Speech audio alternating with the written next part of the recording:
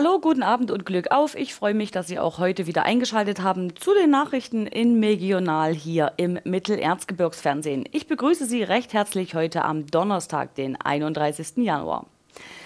Die aktuelle Wetterlage bietet in unserem Sendegebiet derzeit ganz gute Bedingungen für den Wintersport. Das nutzte man auch am vergangenen Wochenende in Seida zum 18. Skiküring.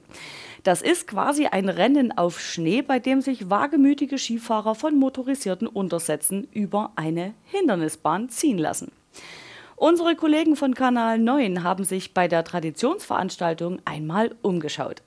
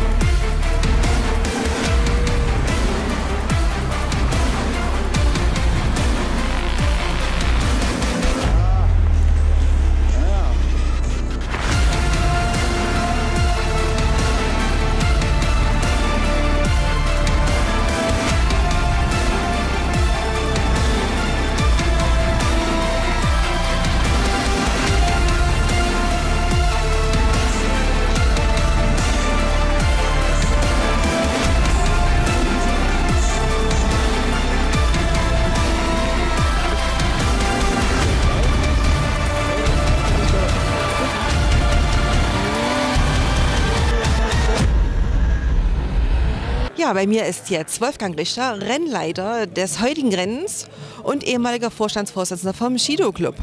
Was hat sich seit dem letzten Mal verändert? Ja, wie Sie schon sagten, äh, die Clubführung hat sich verändert im positiven Sinne. Es sind mal junge, frische Leute rangekommen, die praktisch die Leitung des Vereines übernommen haben. Äh, was sicherlich förderlich war für den Verein. Nach 13 Jahren, was ich letztes Jahr schon sagte oder vor zwei Jahren sagte bei meinem Abschied, muss man nicht noch zusätzlich an dem Clubvorstand festhalten. Und sie haben sich gut eingeführt, hat alles gepasst. Ich habe schon beobachtet, mit positivem Eindruck bekommen, haben sie toll gemeistert. Haben eine ganz super Strecke wieder hingezaubert. Natürlich mit Unterstützung von vielen, vielen Helfern im Verein. Also vorgestern war hier noch nichts zu sehen. 30 Mann aus dem Verein waren hier im Zusammenhang des Pistenbullies den wir von einem äh, Clubmitglied gesponsert bekommen haben, hier zugange. Und wenn ihr euch hier umschaut, ob das Stecken des Reisigs ist oder das ganze Vorbereiten, das macht einfach viel, viel Arbeit. Wir mussten allerdings eine Änderung vornehmen. Aufgrund der Baumaßnahmen der Gasleitung mussten wir unsere Rennstrecke sehr einschränken äh, haben es doch noch ganz gut hinbekommen, dass wir äh, keinen, so sagen die Rennfahrer, keinen Mickey-Maus-Kurs hingelegt haben. Sie ist relativ schnell und aufgrund jetzt der milden Temperaturen auch schwer geworden. Das heißt, die Skifahrer, die hinten dranhängen, haben es viel, viel, viel schwerer als vielleicht noch von vor zwei Tagen. Also ist auch gefährlich die Strecke? Das ist keine Kaffeeveranstaltung, sondern es ist eine hochkarätige Rennveranstaltung, muss man schon sagen. Wenn man bedenkt, dass die Maschinen bis 190 PS haben äh, und der Skifahrer hängt da hinten dran. Es ist nicht ungefährlich. Motorsport ist immer mit Risiko verbunden. Aber die Jungs fahren mit Protektoren, sind mit, mit Brustpanzern ausgerüstet und die meisten wissen, was sie tun auf den Maschinen und schonen, wenn möglich, auch ihren sogenannten Hänger, den Skifahrer da hinten dran hängt. Wie viele Teilnehmer sind heute am Start? Wir sind gut bedient. Also wir gehören ja mit zu den größten Veranstaltungen dieser Art in Deutschland. Es ist ein Lauf zum Sachsenpokal, der im gesamten Erzgebirge bis Johann Georgenstadt und Klingenthal stattfindet. Und wir haben hier in den Ski-Curing-Klassen, also praktisch Motorschlitten mit Skifahrer, runde 30 Teams. Und in der Solo-Klasse wenn ich mich auf die Listen berufe, sind es mindestens auch nochmal 30, wenn nicht 35, die den Solo-Parcours absolvieren als Snowcross. Sie sprechen von Solo. Welche Klassen nehmen hier teil? Wir haben es aufgeteilt in zwei Klassen, Hobby und Masters. Früher haben wir äh, Schlitten gehabt, die waren tatsächlich nicht stärker wie 50 PS und konnten es früher bis 50 PS und über 50 PS unterteilen. Das ist jetzt nicht mehr möglich. Sie kriegen jetzt kaum noch einen Schlitten unter 100 PS gekauft. Die haben alle ab 100 PS aufwärts. Wie gesagt, der stärkste 900er turbo aufgeladene Schlitten, der hier am Start ist, hat 190 PS. Und darum haben wir gesagt, wir machen eine Anfängerklasse, Hobby. Das sind alle, die dich in der Vergangenheit nicht platzieren konnten. Die also durch Stürze oder durch schlechte Zeiten nicht platziert waren. Oder die Neulinge, die fahren in der Hobbyklasse. Und die Masters sind all die, die in der Vergangenheit Erfolge erzielen konnten. Die kommen in eine offizielle Sperrliste und dürfen in der Hobby nicht starten, damit die jungen Teams auch eine Chance haben. Ja, und nach diesem sportlichen Rückblick auf das letzte Wochenende schauen wir nun nochmal auf das letzte Jahr zurück. Hier kommt unsere Rückschau auf den Juli 2018 heute mit dem zweiten Teil.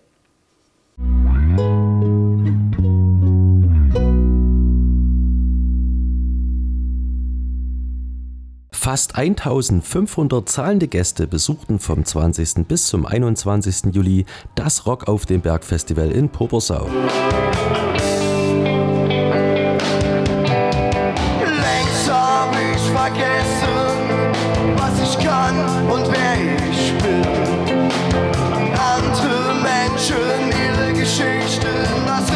das, was ich hören will, solange ich noch etwas spüre. Der Besucherparkplatz auf dem Katzenstein wurde bereits zum 21. Mal zum Austragungsort für handgemachte Musik und deren Fans.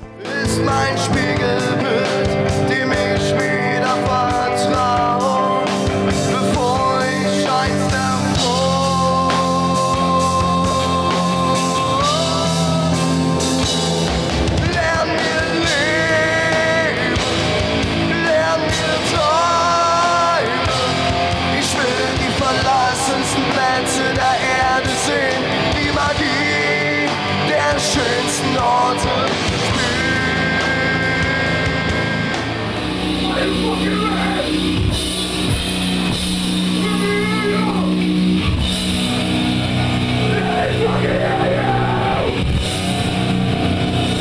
Propane, die bereits seit 1992 im Musikgeschäft tätig sind, waren das erste Mal im Erzgebirge und von der Organisation und der Lokalität begeistert.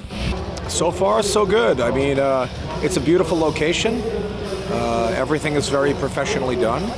Uh, the accommodations are perfect, and uh, we're looking really, again, looking forward to uh, a great performance.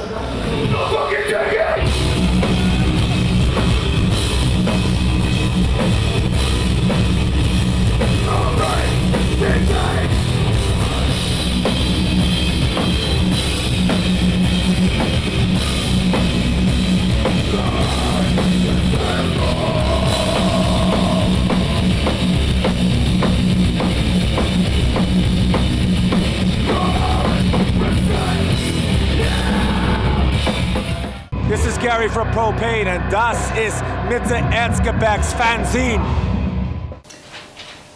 Es ist mir eine Freude, dass wir heute hier wieder eine neue Bereitschaftspraxis mit Öffentlichkeitswirksamkeit auch entsprechend übergeben können.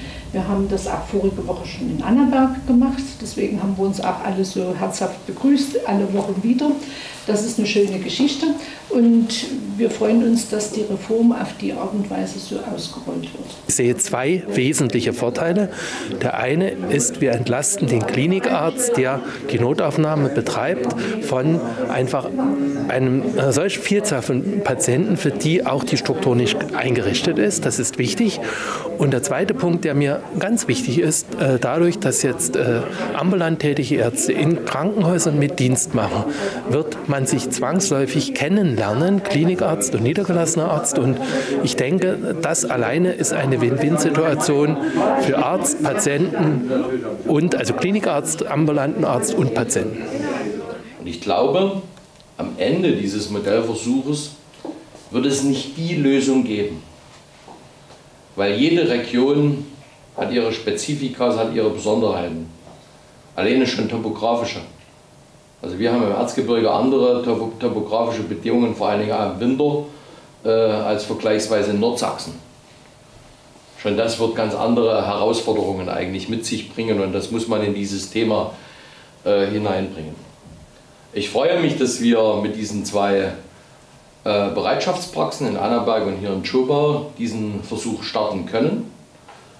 Ich hoffe, dass es äh, die entsprechende Wirkung erzielt, dass es in das Bewusstsein der Bürgerinnen und Bürger hineingeht, was damit erreicht werden soll, dass es zu einer wesentlichen Entlastung äh, des Rettungsdienstes führt, denn das, was die Ärzte, was die äh, Schwestern in diesem Bereich auch leisten müssen, ist schon extrem.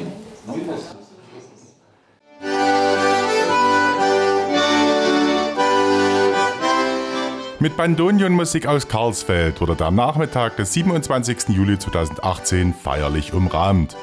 Im Konferenzsaal des Landratsamtes wurde der scheidende Geschäftsführer der Krankenhausgesundheitsholding Erzgebirge GmbH, der frühere Landrat des Mittleren Erzgebirgskreises Albrecht Kohlsdorf, in den Ruhestand verabschiedet. Viele Weggefährten, Sie und viele weitere haben Albrecht Kohlsdorf in all den Jahren in den unterschiedlichsten Bereichen, in den unterschiedlichsten Teilabschnitten oder Etappen des Weges begleitet und auch als Mensch kennen und schätzen gelernt.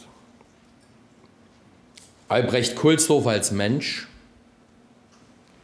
er war, er ist ein erfolgreicher Kommunalpolitiker in Sachsen, ein Politiker mit Herzblut, Ehemann, Vater, Opa, Pferdefreund, ein sensibler, sozialer, pragmatischer und vor allen Dingen auch ausgleichend wirkender Mensch, der seiner Region und seiner Heimat zutiefst verbunden war und ist.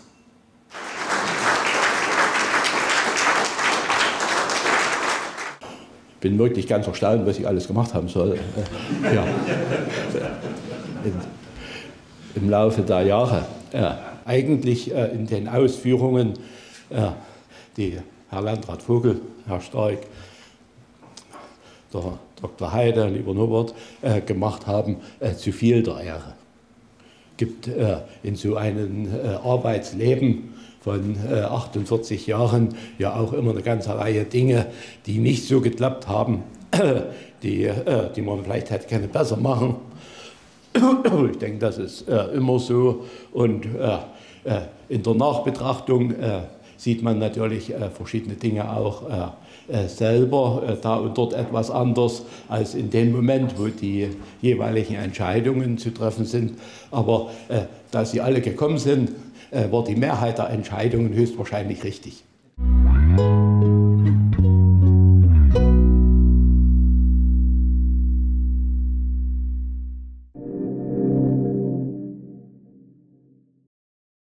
Aufgrund der derzeitigen beengten Straßenverhältnisse wurden auf einigen Straßen im Marienberger Stadtgebiet Zonen mit eingeschränktem Halteverbot eingerichtet. Wie die Stadtverwaltung Marienberg mitteilte, betrifft das folgende Straßen. Zum einen die linke Seite der Chopauer Straße Abkreuzung Töpferstraße in Richtung Chopauer Tor. Dann die linke Seite Schillerlinde Höhe Landratsamt und in Gelobtland die Kohlenstraße am Wanderparkplatz im Kurvenbereich. Es sollte unbedingt darauf geachtet werden, dass Fahrzeuge des Winterdienstes von Entsorgungsunternehmen und sonstiger Lieferverkehr durch die Straßen fahren müssen. Die Stadtverwaltung bittet daher alle Autofahrer, sich in, diesem, in ihrem Parkverhalten dementsprechend anzupassen.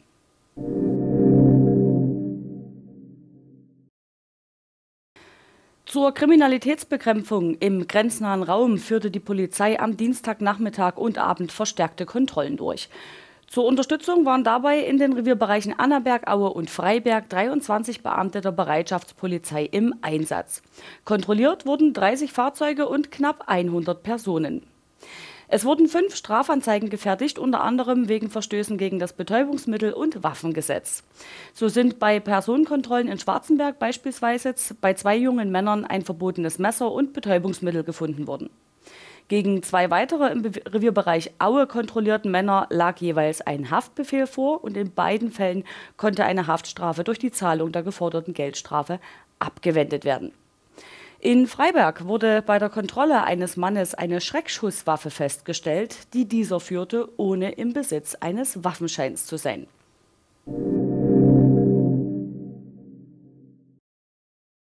Heute Abend und in der Nacht ist es weitestgehend sternenklar. Dazu kommt ein recht böiger Wind aus südöstlicher Richtung und in den Spitzen werden Windgeschwindigkeiten von bis zu 45 Kilometer pro Stunde erreicht. Dies betrifft vor allem den Raum Olbernhau und Marienberg. Niederschlag in Form von Schnee und Regen ist über Nacht nicht in Sicht. Die Tagestemperaturen in der Nacht auf Freitag sind einheitlich im Minusbereich. So werden in Olbernhau minus 5 bis minus 4 Grad Celsius erwartet, ebenso wie in Marienberg. Und in Chopau zeigen die Quecksilber im Thermometer minus 4 bis minus 3 Grad an. Freitag pfeift uns der Südostwind sogar noch etwas straffer um die Ohren. Mütze festhalten ist da die Devise bei Windgeschwindigkeiten von um die 85 Kilometer pro Stunde. Wolkig starten wir in den Tag und so nach und nach verdichtet sich die Wolkendecke und dann bleibt es überall grau in grau. Niederschlag gibt es zum Freitag aller Voraussicht nach nicht. Die Tageswerte in Halbach liegen bei minus 5 bis 0 Grad, ebenso wie in Großrickerswalde. Und die Griesbacher Temperaturen bewegen sich zwischen minus 4 und plus 1 Grad Celsius. Der weitere Ausblick auf das Wochenende. Der Samstag beginnt mit dicken Wolken und kleineren Regenfällen und das bleibt auch über den Tag so. Nur das Regenrisiko sinkt im Laufe des Tages. Der Wind weht zum Tagesbeginn aus Südost und dreht dann auf westliche Richtungen. Minus 1 bis plus 3 Grad werden über den Tag erwartet. Zum Sonntag dann sinken die Temperaturen auch schon wieder auf minus 4 bis minus 2 Grad und bei einem Niederschlagsrisiko von 90 Prozent und dicken grauen Wolken am Himmel ist zum Sonntag ganztägig mit leichtem Schneefall zu rechnen. Der Wind weht gering aus Nordwest. Mehr zum Regionalwetter dann morgen hier in Megional. Ich freue mich, wenn Sie auch dann wieder pünktlich mit dabei sind und bis dahin wünsche ich Ihnen einen schönen Abend, gute Nacht und einen angenehmen Start in den Freitag. Tschüss, machen Sie es gut.